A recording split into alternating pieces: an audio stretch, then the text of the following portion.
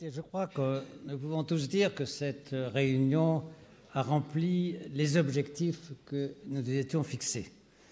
Avoir une évaluation raisonnée et raisonnable de la situation, à la fois l'importance, euh, les insuffisances des modèles animaux. Alors, si je reprends rapidement les différentes interventions, Bernard Meunier a eu tout à fait raison, c'était important de rappeler l'histoire, parce que l'histoire nous montre, disons tous, toutes les catastrophes qui sont survenues en l'absence de modèles animaux. Et moi, je partage toujours avec lui euh, l'éloge du bon sens. Il suffit de regarder les situations euh, très délétères qui ont été observées, qui sont encore observées, je le disais tout à l'heure pour les phases, euh, en l'absence de bons modèles animaux, euh, pour se rendre compte à quel point nous avons besoin des modèles animaux. Je reviendrai bien sûr sur les insuffisances actuelles dans, dans un instant. Alors, ce qui est intéressant aussi, c'est que Bernard Meunier a insisté et cela me paraît personnellement évident, et ce n'est pas mes euh, confrères de l'Académie nationale pharmacie qui me diront le contraire. Les modèles animaux sont absolument, alors là, il n'y a pas de problème, je dirais, ou presque pas, euh, sur leur intérêt pour tout ce qui concerne la toxicologie et la, et la tératologie ou la tératogénicité, si vous voulez. Alors là, là, les données. Alors, il y a des problèmes quand même. C'est le nombre d'espèces. Nous savons bien que certains effets secondaires, moi je suis immunologiste, les effets allergéniques sont très difficiles à étudier chez l'animal. Il faut le dire, il y a quelques études chez le cobaye, ça marche mal. Donc, il y a, même dans ces domaines, il y a une insuffisance. Mais il est évident que se lancer dans l'étude de médicaments chez l'homme, euh, sans étude de toxicologie ou tératologie chez l'animal, paraît absolument impensable. C'est de nouveau le bon sens qui nous le dit. Pour ce qui concerne l'efficacité thérapeutique, et je dirai un mot après la physiopathologie, euh, Bernard Meunier nous a montré à quel point c'était compliqué. Et il a pris un exemple qui l'intéresse, celui de maladie d'Alzheimer. Alors c'est vrai, c'est un exemple particulièrement frappant, c'est un des fléaux de santé publique euh, de notre temps, et nous n'avons pas de bons modèles animaux, et du coup, il y a un lien évident, mais pas forcément obligatoire, entre cette absence de bons modèles animaux et l'absence de traitement. Ça montre bien à quel point il est difficile, surtout dans une maladie comme celle-ci, qui évolue sur une longue période, de façon hétérogène d'un malade à l'autre, comment il est difficile d'évaluer des, nouveaux traitements sans modèle animal convenable. Euh, et ça, c'est un exemple particulièrement frappant.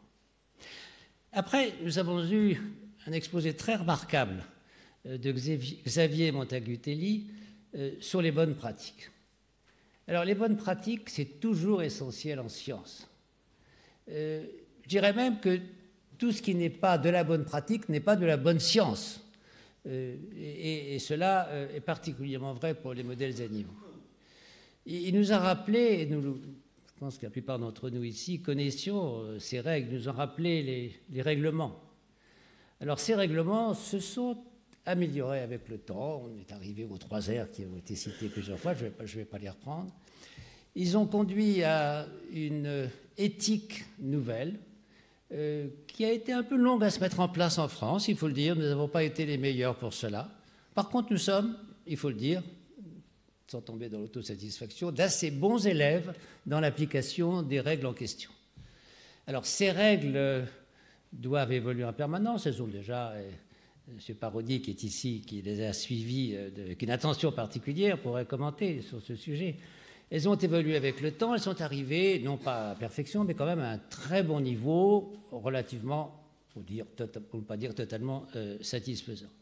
Alors il y a encore des problèmes, et j'étais tout à fait intéressé, et je retourne vers euh, les collaborateurs de Madame le ministre, il le sait parce qu'on a déjà eu l'occasion d'en parler il y a quelques jours, il y a encore sans doute des progrès à faire. Alors non pas tellement, je pense, sur le plan des règles elles-mêmes, qui ont été en plus examinées au niveau européen en détail, euh, non pas tellement sur leur application, qui se fait de façon satisfaisante, pas parfaite, mais satisfaisante, mais sur les problèmes administratifs. Euh, il est important qu'il y ait des comités d'éthique, il est tout à fait utile qu'il y ait deux niveaux, un niveau local euh, et puis un niveau ministériel pour examiner ces projets, mais personnellement, euh, je reste un peu inquiet toujours du temps qui est pris sur la recherche pour établir ces dossiers. Et euh, les comités auxquels pense la ministre euh, vont peut-être aider à standardiser justement les dossiers de soumission des problèmes d'éthique à ces comités. Mais il faut absolument éviter que l'attente soit trop longue. Et avec en plus cette règle qui est vraie aussi pour les comités de protection des personnes, que si les comités n'ont pas le temps de pouvoir rendre une réponse dans les délais imposés, la réponse devient automatiquement négative, ce qui peut être catastrophique euh, pour certains euh, programmes de recherche. Alors, M. Montagutelli a abordé d'autres problèmes, et bien sûr le problème des alternatives. Alors là, je reprendrai le bon sens que nous louait euh, Bernard Meunier c'est vrai, et les exemples qu'il a donnés, auxquels on pourrait rajouter encore d'autres euh, ouvertures, euh, il faut regarder tout ce qui peut être fait in vitro, il faut regarder tout ce qui peut être fait par les modélisations, in silico, etc. Bon, il faut bien être, je reviens au bon sens, il y a beaucoup de questions auxquelles on ne peut pas répondre par ces euh, réponses, ces études in vitro ou ces études in silico, même s'il y a des progrès, mais il ne faut pas il ne faut pas laisser croire que dans 10 ans ou dans 20 ans, on aura des réponses alternatives euh, fiables par rapport à toutes les questions qui sont posées aujourd'hui.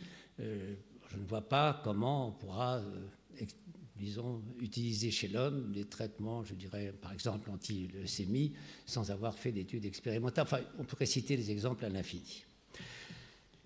Alors, la question suivante, qui a été très largement abordée par Pierre Corvol et, juste cité à la fin de son exposé par M. Montagutelli, euh, c'est celui de la diversité des modèles animaux et finalement de leur de leur valeur. Alors la diversité, elle est considérable. Euh, moi, j'ai le biais personnel en immunologie, mais bon, mais je crois qu'il est partagé par beaucoup, que les modèles spontanés, cela a été dit, ont une valeur particulière par rapport aux modèles provoqués. Les modèles provoqués sont toujours gênants. Alors les modèles provoqués ont, un intérêt parce qu'ils permettent de tester certains mécanismes physiopathologiques.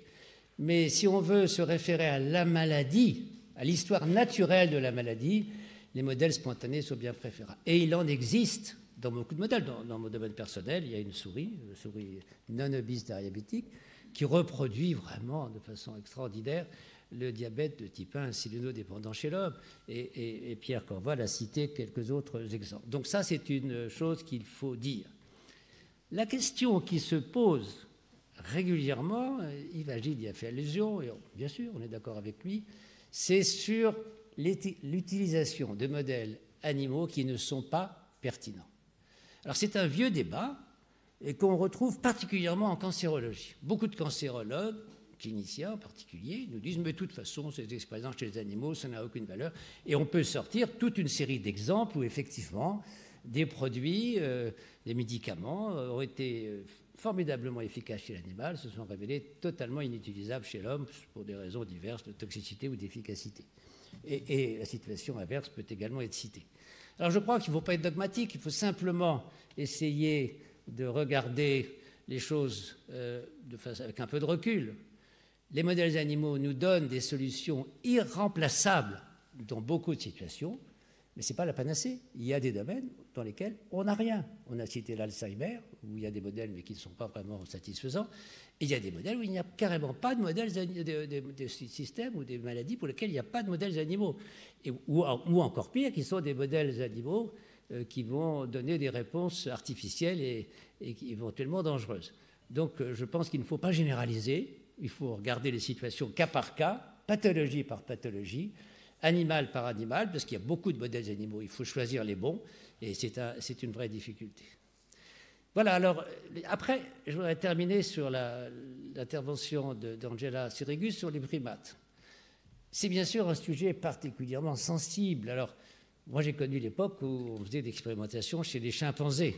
J'ai même été associé à un projet chez les chimpanzés, j'ose le dire. Bon, c'est pas moi qui les traitais, mais je collaborais avec des gens qui utilisent. Bon, c'est maintenant interdit, mais les macaques posent le problème des primates non humains, qui est un problème difficile. Je crois que là aussi, il faut faire preuve de bon sens. les recherches de, neurosciences sont absolument cruciales. Nous savons tous que ça, représente le domaine, la neurobiologie est à l'origine, enfin les, phénomènes de neurodégénérescence en particulier sont à l'origine des plus grands fléaux de notre époque en santé publique, et donc il faut tout faire pour avancer. Et on ne pourra pas avancer complètement dans certains domaines sans modèles animaux, en particulier chez les macaques. Si on va chez les primates trop éloignés de l'homme, on perd bien sûr euh, ce que l'on peut observer avec les primates. Alors pour terminer cette brève conclusion, je dirais que finalement, nous avions voulu faire cette réunion pour montrer la validité des modèles animaux et les insuffisances, mais la validité. Ce qui nous paraissait euh, la meilleure réponse à apporter à ce qu'on appelle parfois les abolitionnistes. C'est un terme qui a d'autres significations, il est utilisé dans ce domaine. Et là, nous voyons bien que, euh, je pense, nous avons apporté des arguments convergents pour dire que ces modèles animaux sont absolument indispensables. Alors, derrière cela, je pense, et c'est le seul commentaire que je voudrais faire avant de terminer, c'est qu'il euh, faut aider la recherche expérimentale. Alors l'aider, je ne pense pas tellement aux problèmes d'éthique, je pense qu'ils sont maintenant bien cernés. Je pense que les mesures que voulait annoncer la ministre et qui seront annoncées, je pense, dans une autre circonstance, vont encore aider à améliorer les choses, en améliorant la transparence, en améliorant le, en, réduisant les problèmes administratifs. Donc, ça, c'est pas. Je, voudrais simplement faire allusion au fait qu'utiliser, et M. Montagu-Telly le sait mieux que personne, utiliser des animaux de laboratoire représente un défi pour les chercheurs de laboratoire, un défi considérable. C'est un coût énorme, c'est une difficulté, c'est un souci. Moi, je peux vous dire que j'ai une animalerie importante euh, dans mon laboratoire, ceci à mon laboratoire. Nous, nous vivons une angoisse permanente de l'infection des souris que nous élevons par tel virus, telle bactérie ou tel parasite. Ça demande un soin absolument considérable. Euh, donc, euh, il faut que le ministère de la Recherche euh, et peut-être les universités, les organismes de recherche prennent encore plus conscience qu'ils l'ont, parce qu'ils sont tout à fait conscients de ces difficultés, de, de, ce problème des animaleries, le maintien, le développement des animaleries indispensables pour toutes les raisons que nous avons vues aujourd'hui, est un effort, représente un effort très coûteux, très complexe. Et vraiment, euh, je plaide en faveur d'une réflexion sur ce sujet pour pouvoir euh, maintenir le niveau et même améliorer le niveau actuel avec tous les problèmes que ça pose. Je pense non seulement aux conditions sanitaires, mais je pense au statut des personnes qui s'occupent des animaleries. Enfin, il y a toute une série de questions. Et je pense que c'est en soi un sujet qu'il ne faut pas oublier à la fin de cette séance. Merci beaucoup.